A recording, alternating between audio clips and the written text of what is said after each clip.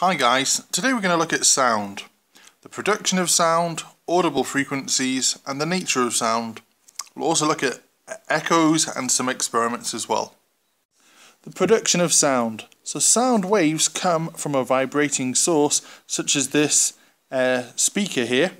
Now the medium uh, that you can hear is air waves. The air around us, uh, sound can be transmitted through air the speaker here moves forwards and backwards and as it moves forwards it pushes or compresses the air and that compression that compression moves forwards out until it gets to your ear.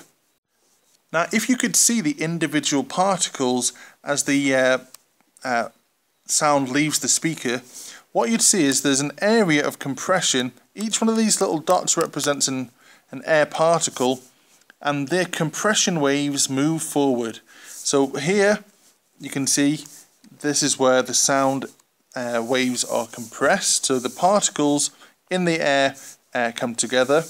In between these areas of compression, we call uh, these areas here where the air is being kind of rarefied, so we call them rarefactions. Now the distance between uh, two compressions uh, is actually equal to the wavelength or between the two rarefactions is also equal to the wavelength. So for example here, here's a wavelength, there's a wavelength, there's a wavelength, and even there's a wavelength. Now one thing that you need to know are the audible frequencies that human beings can hear. There aren't many things that Cambridge expects you to learn, uh, like, like simple facts, but this is one of the facts that is there stated in the syllabus that you have to know. So an audible frequency, that's sound waves that you can hear. And the range that a healthy human being can hear is from 20 hertz to 20,000 hertz. So 20 hertz is a very, very low bass sound. 20,000, well, some uh, old TV sets, sometimes they can make this really annoying high-pitched whistling sound that often children can hear that adults can't because after some time your hearing becomes uh, actually progressively worse. So maybe uh, adults can't hear this high, whereas children actually can. Now I just want to talk about the speed of sound in different mediums. In air, depending on the air pressure, but uh, the speed of sound in air is about 330, 340 meters per second. In water, it's actually a bit, bit quicker. It's around 1,400 meters per second. And in a solid such as concrete it actually really increases to almost 5,000 meters per second. So 5 kilometers a second that's pretty fast. So here's an example of an experiment of how you can find the speed of sound although it's very very basic really.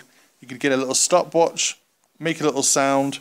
The sound will come this way and reflect off here uh, off the wall and then you can time how long does it take for the sound to go there and back you know this distance here and back, and then you use speed equals distance divided by time, and you can work out the speed of sound in air.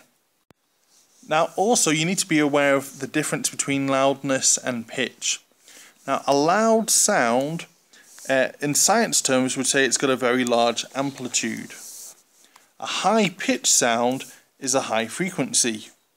So the opposite, a quiet sound, would have a very small amplitude and a low pitch sound would have a low frequency. So I've drawn some examples of the different uh, pitches and uh, loudnesses. So here we've got an example of a loud low pitch. So the low pitch means the wavelength is very large and it actually have a low frequency sound.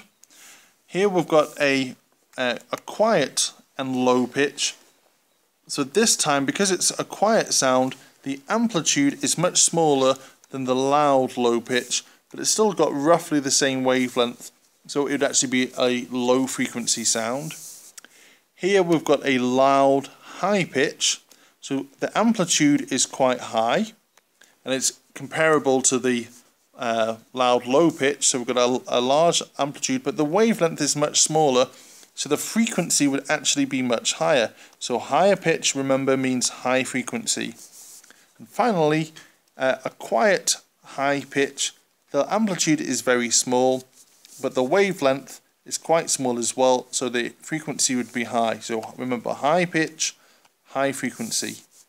And finally, although we did cover it in the experiment, just want to go over what is an echo because it's there in the syllabus.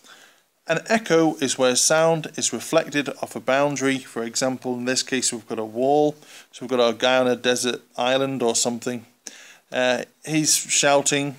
The sound will reflect off the wall, bounce back, and he'll hear it. So here we've got our reflected sound. Comes comes out, and then back it goes. That's an echo. Don't forget to subscribe, subscribe, subscribe. Don't forget to subscribe, subscribe.